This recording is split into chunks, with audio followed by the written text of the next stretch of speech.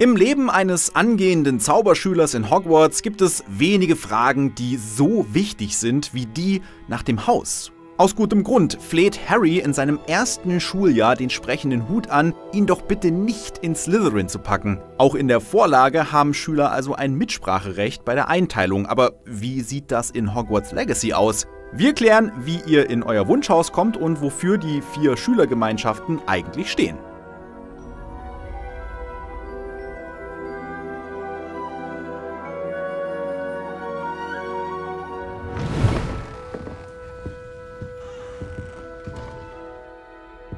Wenn ihr euch noch nicht sicher seid, welchem Haus ihr euch anschließen sollt, kommt erstmal noch ein kleiner Überblick. Wir fangen an mit dem ehemaligen Besitzer des sprechenden Hutes, mit Godric Gryffindor. Als einer der vier Gründer der Lehrinstitution waren ihm die Charakterzüge Mut, Ritterlichkeit und Entschlossenheit wichtig. Kinder mit diesen Eigenschaften werden also mit hoher Wahrscheinlichkeit in Haus Gryffindor landen. Das Wappen des Hauses ziert ein Löwe und die Farben sind Rot und Gold. Gryffindors gelten als tapfer, doch sie haben mitunter auch einen kurzen Geduldsfaden, verhalten sich rücksichtslos oder leichtsinnig. Slytherins werfen Gryffindors außerdem oft eine gewisse Arroganz vor. Aber das mag auch daran liegen, dass die beiden Häuser auf eine lange Tradition der Rivalität zurückblicken. Der Gemeinschaftsraum von Gryffindor wird vom Gemälde der fetten Dame bewacht. Schüler erhalten nur durch die Nennung eines Passworts Zugang. Zu den bekanntesten ehemaligen Mitgliedern von Gryffindor neben Harry und seinen Freunden gehören Albus Dumbledore, Minerva McGonagall und Rubius Hagrid. Aber auch Fiesling Peter Pettigrew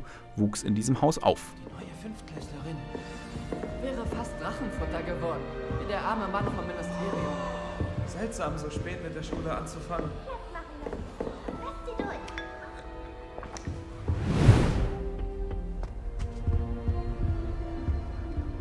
Nutzen wir dann auch gleich die Gelegenheit, um rüber zum größten Rivalen von Gryffindor zu schauen. Haus Slytherin gehört zu Salazar Slytherin, der zweite der vier Gründer von Hogwarts. Anders als von vielen vermutet, sortiert der sprechende Hut hier aber nicht nur die fiesen und reichen Kinder rein, sondern entscheidet anhand der Eigenschaften, die Salazar wichtig waren. Dabei handelt es sich um Raffinesse, Einfallsreichtum, Führungsqualitäten und Ehrgeiz. Salazar hegte eine große Abneigung gegen Muggel, also nicht magischen Menschen, und auch gegen Zauberer und Hexen, die von Muggeln abstammen. Es gibt zwar muggelstämmige Mitglieder in Slytherin, aber das kommt nicht häufig vor. Das Wappen von Slytherin ist eine Schlange, passend zur Tatsache, dass Salazar Slytherin wie Harry Potter Parsel beherrscht, also die Sprache der Schlangen. Die Hausfarben sind grün und silber. In diesen Farben erstrahlt auch der Slytherin-Gemeinschaftsraum, der sich im Kerker von Hogwarts befindet. Um einzutreten, muss ein Passwort genannt werden, das eine geheime Tür in einer Steinwand öffnet. Slytherin hat zwar einen schlechten Ruf und wird mit erzkonservativem Gedankengut in Verbindung gebracht, aber das Haus hat neben Voldemort und vielen Todessern auch andere bedeutende Persönlichkeiten hervorgebracht. Severus Snape war Mitglied, Horace Slughorn ebenso, und um ein Haar wäre selbst Harry Potter im grünen Gemeinschaftsraum gelandet.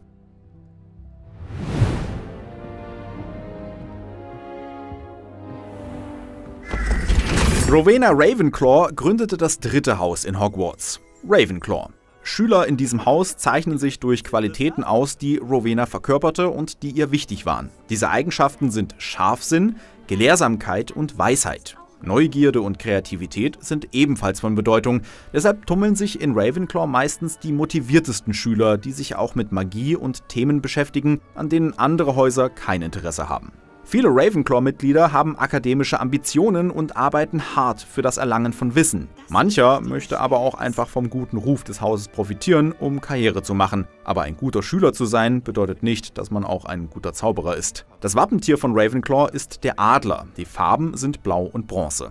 Der Gemeinschaftsraum der Ravenclaws befindet sich in der Spitze des Ravenclaw-Turms und erfordert kein Passwort, um Einlass zu gewähren. Stattdessen stellt der Türknauf ein Rätsel und wer es löst, darf eintreten. Um den Wissensdurst der Schüler zu stillen, besitzt der Ravenclaw-Raum eine eigene Bibliothek. Zu Ravenclaw gehören bekannte Persönlichkeiten wie Luna Lovegood, Sybil Trelawney und Garrick Ollivander. Hermine Granger wurde ebenfalls beinahe in dieses Haus einsortiert.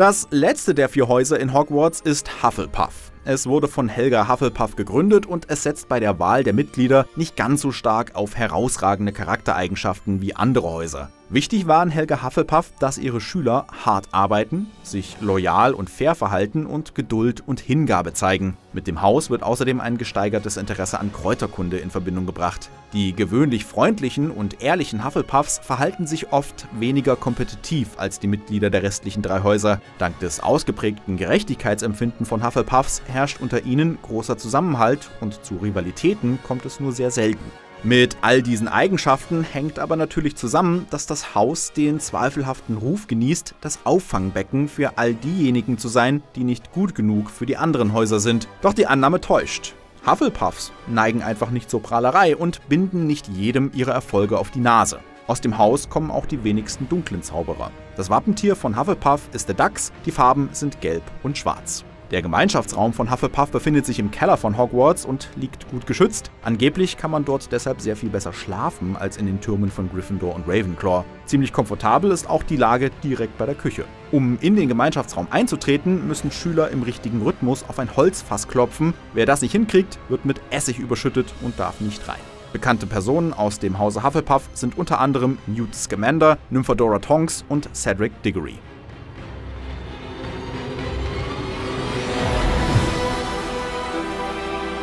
Und damit habt ihr einen Überblick über alle vier Häuser. Jetzt kommt es ganz auf euch an, welches euch am besten gefällt. In Hogwarts Legacy habt ihr dann nicht nur Zutritt zu dem entsprechenden Gemeinschaftsraum, es gibt auch hausexklusive Quests. Aber dafür muss euch der sprechende Hut einsortieren.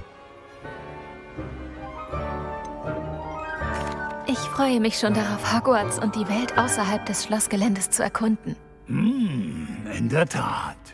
Abenteuerlust führt zu allerlei Entdeckungen und neuem Wissen. Aber von deinen Professoren wirst du auch einiges lernen können. Hm. Interessant. Hm. Ich spüre etwas in dir. Einen gewissen Sinn für... Hm. Was ist es nur? Im Spiel habt ihr mehr Einfluss auf die Wahl als die Schüler in der Vorlage. Sobald ihr eingeteilt werdet, stellt euch der Hut zwei Fragen. Anhand eurer Antworten bekommt ihr das Ergebnis. Aber wenn es euch nicht gefällt, dürft ihr euch selbst in euer Wunschhaus stecken. Das ist sehr bequem. Lernwilligkeit? Ich mag gute Rätsel. Und ich denke, ich habe einen schnellen Verstand. Mm, in der Tat, du bist schlau. Was andere verwirrt, erfasst du mit klarem Verstand. Einen wachen Geist hast du auch. Du lernst schnell. Vielleicht gehörst du nach Ravenclaw.